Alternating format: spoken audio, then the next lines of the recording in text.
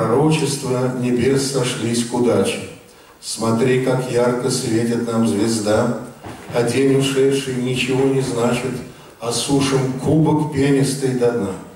Престол судьбы готовит провидение, о вечной славе звезды говорят, ведь за морями ни одно сражение выигрывал с триумфом наш отряд.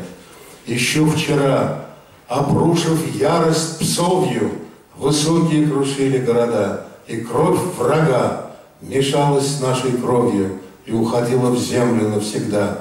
А мы уйдем в бессмертие, как герои. Дорога нам на всех одна дана, и озарят пожары павшей Трои на звездном небе наши имена. Кто-то, да, Дима. Я бы покритиковал это стихотворение. Давай. Ведь за морями ни одно сражение выиграл с триумфом наш отряд. Это звучит как-то по-пионерски, вот, а не по-древнегречески. И вообще это противоречит истории, потому что э, вот то войско было собрано по случаю, это не было каким-то отрядом, типа там ЧВК Вагнер, который воевал в разных местах. И третий Катрин, на мой взгляд, неудачный. Тут переход в прошедшее время, все в будущем, а тут прошедшее. И тут попытка противопоставления, значит, как бы вчера вот была война, а, а к чему это противопоставлять? Что, а сегодня вот мир, было бы логично, а то и вчера была война, и завтра будет. То есть не получилось противопоставление. И последнее, обрушив ярость псовью, э, тут должно быть обрушив на что-то, а вот на тут нету. Поэтому как бы обрушив вот стену, так, например. То есть, мне кажется, неправильное употребление слова обрушив, потому что нету на. Кто-то еще? Да, пожалуйста.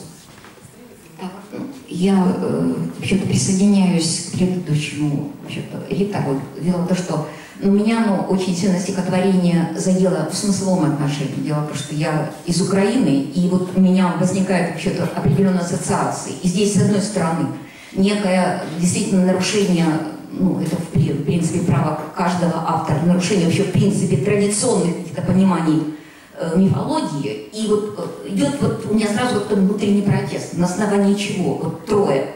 Э, собственно, пришли, разрушили, в общем нормальный город, погибли в общем-то, замечательные люди. И вот это вот то, что озаря пожары, павший трое на звездном небе, наши имена. Э, ну, вот, в общем, здесь вопрос э, несколько сложнее. То есть, вот, что задевает стихотворение?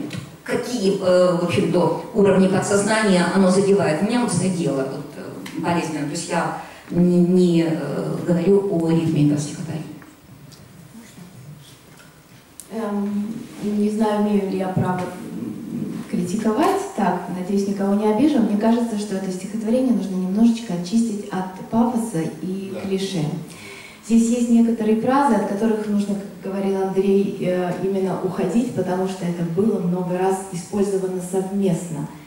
Слова, допустим, «вечная слава», они практически всегда идут вместе. Или звездные, «на звездном небе наши имена», здесь, можно сказать, вся четверка вместе идет.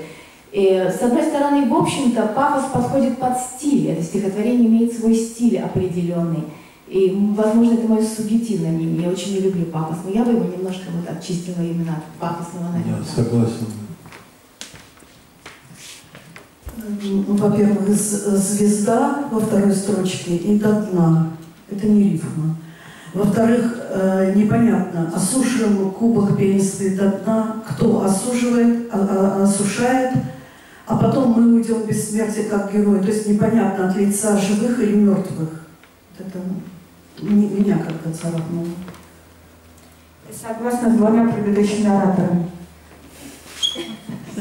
Так, ну, э, хорошо. Значит, э, ну, во-первых, э, нужно быть крайне осторожным, когда э, пишешь на э, исторические темы, известные исторические темы и так далее, потому что про это столько уже написано, эта тема настолько использована, это должно быть очень оправдано, почему в этом пишут. Второе, с моей точки зрения, я не говорю, что это стихотворение совершенно не состоялось, с моей точки зрения, его нужно отложить, сильно переделать, и, как говорили, как говорил один мой основной учитель в американской поэзии, каннибализировать для другого стихотворения, использовать какие-то вещи.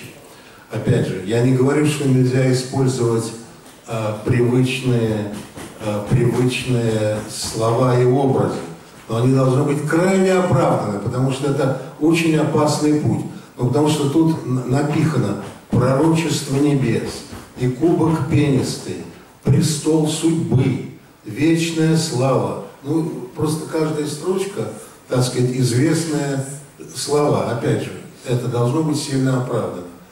Вот. ам, ну вот поэтому вот это вот, так сказать, как бы мой совет.